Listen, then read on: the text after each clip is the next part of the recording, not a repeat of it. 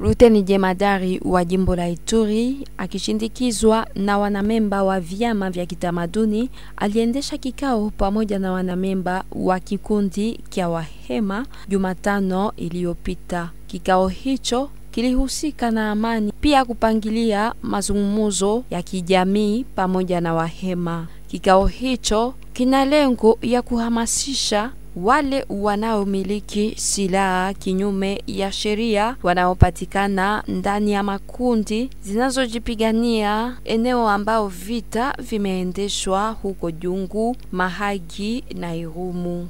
Mwishoni mwa kikao hicho, Daktari Lonema aliwaita wakaaji wa Ituri kuchangia nguvu ili wahamasishe vijana na wasichana waliopotea kuacha silaha zao.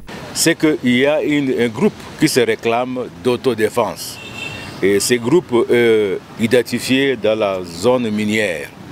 Et ces groupes euh, a au sein euh, de- de- des éléments armés euh, qui défendent leur, euh, Kumepatikana kundi inayojitambulisha kuwa inajipigania na kundi hiyo inapatikana ndani ya eneo uchimbaji maduni. Kundi hiyo inawaweka majambazi wanaopigania eneo zao, ni kusema si Wahema tu, wanapatikana pia huko Nyali, Mambisa na Ndokebo. Ni wengi wanaopatikana eneoni huko. Watu hawa wanaojipigania wametupasha kwamba hawana shida kama vikosi vya usalama wanaolazima kupanda madaraka. Hao wanahitaji tu usalama eneoni mwao, wanaomba wawe huru kutafuta udongoni dhahabu yao.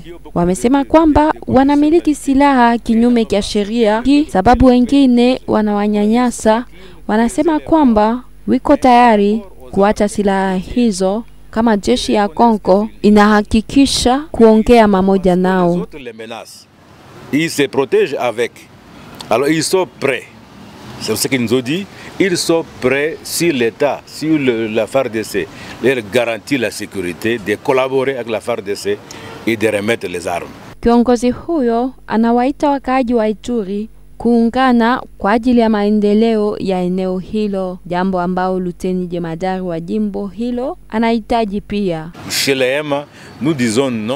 Tunakataa vita, hatutaki watu waingizwe ndani ya kundi hilo inayojipigania. Wale ambao walijituma kutoa silaha mikononi wajikaze, warudishe silaha hizo mikononi mwa FARDC kusudi amani irejeshwe kupitia vikao ambao rais wa Jamhuri ya Demokrasia ya Kongo amepangilia.